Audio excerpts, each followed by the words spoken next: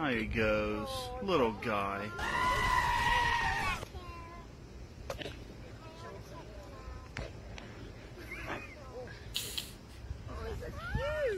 The timing of that ghost scream. okay.